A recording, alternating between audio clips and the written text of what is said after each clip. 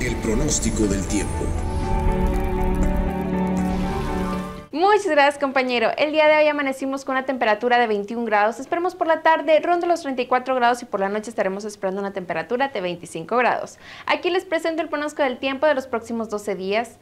Para este viernes nos espera una mínima de 21, máxima de 34. Para el día sábado ya fin de semana con una mínima de 20, máxima de 34. Pasamos al día domingo con una mínima de 20, máxima de 24. Para el día lunes, inicio de semana, nos espera una mínima de 18, máxima de 23. Para los días martes y miércoles tendremos una mínima de 20, máxima de 29.